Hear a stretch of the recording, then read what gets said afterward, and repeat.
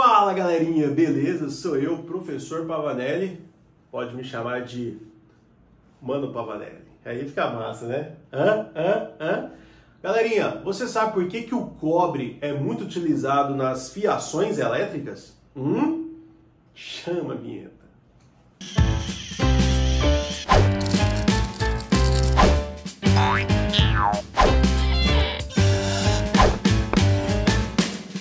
Galerinha, beleza? Eu e o Pavanelli decidimos criar um curso de maneira organizada. Para você que aí pretende fazer a prova do Enem, nós dividimos todos os conteúdos que são cobrados com frequência em várias aulas, onde você vai poder estudar todo aquele conteúdo de química que vai ser sempre abordado nessa prova, que é tão importante para o nosso futuro.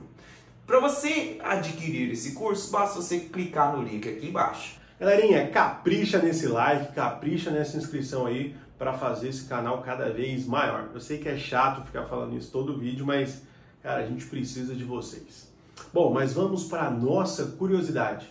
Bom, por que, que o cobre é o metal mais utilizado nas fiações elétricas? Que chega essa energia aí na sua casa para você poder carregar seu celular, utilizar esse computador para você ver a nossa aula, ver na TV, ver, ver, fazer várias coisas em que utiliza a energia elétrica. Bom, primeiramente, porque o cobre ele é muito abundante na natureza. Segundo, por ele ser abundante, ele também é um metal barato teoricamente, ele é bem barato em relação aos outros. Nós temos também uma boa condutividade elétrica que ele possui, e por ele ser classificado como um metal nobre, ele não oxida com tanta facilidade. Então nós temos quatro pontos importantes e que agregam para que o cobre seja um metal que seja bastante utilizado na fiação elétrica.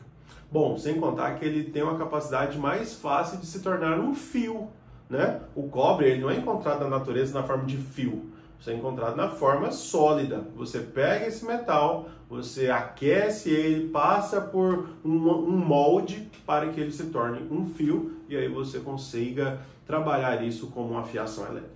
Beleza, galerinha? Tamo junto, é nós. Fica ligado porque as propriedades dos elementos são muito importantes, principalmente para uma prova, para uma curiosidade ou para que você tenha um maior conhecimento científico na sua vida.